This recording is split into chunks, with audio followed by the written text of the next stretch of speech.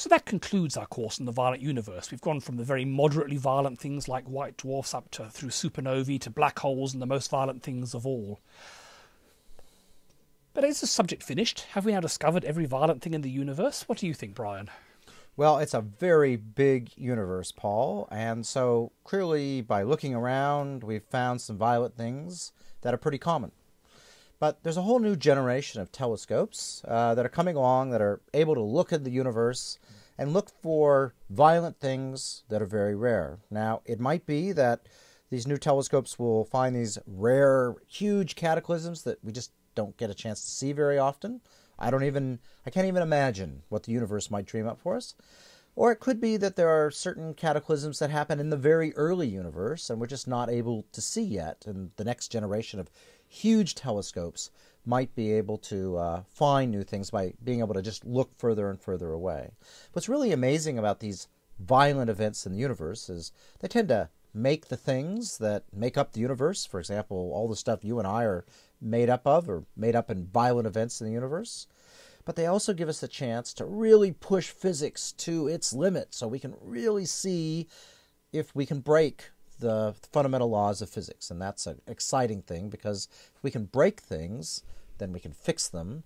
And by fixing things, we can predict new things uh, and perhaps even make new things from those new predictions. Yeah, this is a, a, big difference between students and professionals. A student, they do an experiment, doesn't work, they see that as a disaster. Oh, my experiment hasn't worked, I'm going to get bad marks. Whereas us, if we do an experiment and it's a good experiment and it doesn't work, that's taught us something really interesting. That's exciting. Yeah, that's how you win up no, win Nobel prizes is by uh, getting the wrong answer in your homework. Okay, so um, another way in which we might learn something really interesting would, of course, be gravity waves. Uh, do you think we're actually going to be picking up gravity waves from these things?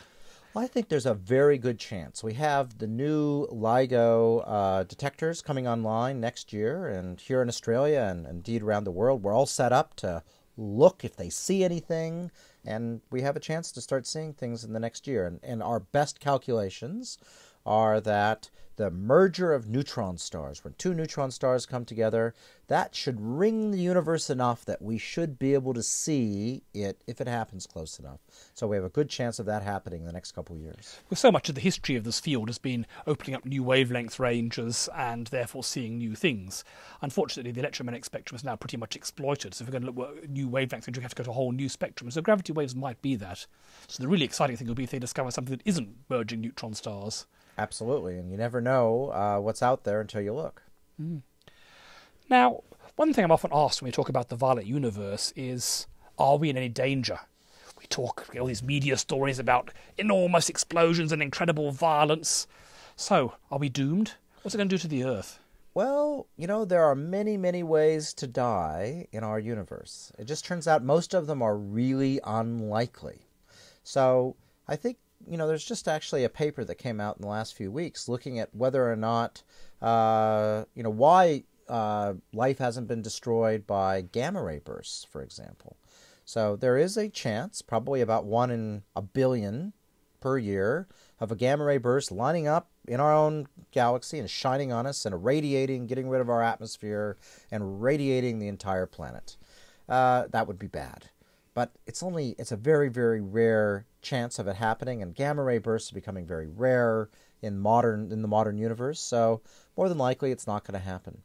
A nearby supernova, well, Betelgeuse, uh, nearest by big star that's likely to explode in the near future, maybe ten thousand years, maybe tomorrow.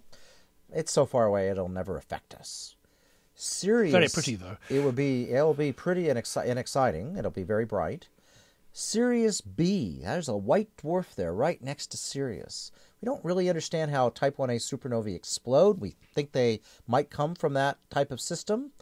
Not going to happen anytime soon, but in the next maybe billion years or so, Sirius B could explode. And Sirius B is only 8 light years away. So if it were to explode right now, that turns out the amount of gamma rays it put out would be bad. It's almost like a gamma ray burst. The good news is a billion years from now, it won't be eight light years away. It'll be so far away, it won't matter. But, but another one, yeah, but close. another one could be close when it explodes. So unlikely, but not zero probability. yes, I guess it's a trade off between the incredible violence of these things and the enormous distances. And that inverse square law means you move something 100 light years away, it has to be have absolutely enormous flux to do anything. Moving a thousand light years or 10,000 or a 100,000 light years away, and yeah, it doesn't really matter how violent it is, it's not going to do very much to us. And the best, you know, the best thing we know is nothing's happened recently. It doesn't. It's whatever happens is going to be rare, and we know that every hundred million years or so, bad things happen to the Earth. Usually, comets hitting us, but you know, the occasional uh, stellar cataclysm that we've discussed in this course is not beyond the realm of possibilities. But I wouldn't worry about it. A hundred million years is a really long time. Yeah, I'd say the biggest threats to life on Earth come from the life on Earth. Come from within, yes. Well, we hope you've enjoyed this course, and uh, we look forward to seeing you in our next course in the series, our course on cosmology.